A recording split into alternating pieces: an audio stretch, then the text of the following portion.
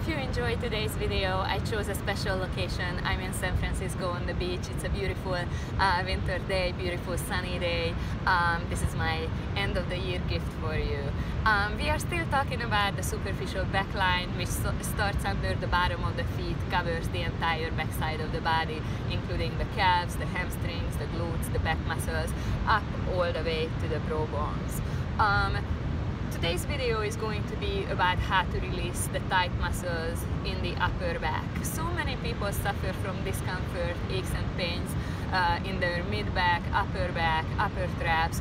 The cause could be um, stressful lifestyles, too much computer work, too much driving, bad posture when the shoulders are rounded forward, the thoracic spine is rounded, the head is in a forward position.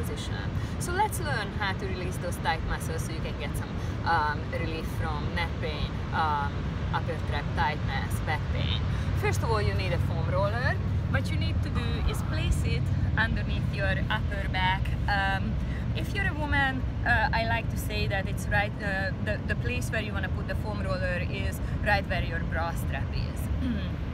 but uh, in general, just somewhere right below your shoulder blades. So lay down on the foam roller with the roller just below the shoulder blades. Your feet are hip distance apart.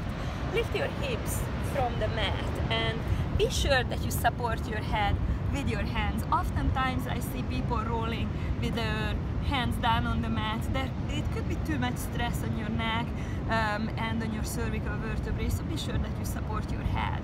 Then start slowly rolling back and forth on the roller. As I said, you want to start right below the shoulder blades, then roll up towards your neck, but be sure that you don't roll on your neck. So just stop the roller on the top of the shoulders. Slowly go back and forth. Make sure that you don't rush it, you don't want to fly over the foam roller. And just repeat it between 10 to 20 times. Um, what I'm doing right now is I'm opening my elbows, so I'm rolling across the entire uh, upper back. What you can do just to intensify the release is bring your elbows forward a little, also tilt your body a little bit to the right and try and get into the area right next to your right shoulder blade just between the shoulder blade and the spine lots of muscles attached there and you can get, uh, give yourself a really good uh, muscle release that way. And be sure that you repeat it on the opposite side as well. As I said go slowly. If you find a nice tender spot you can pause a little bit and just uh, press down to release that area.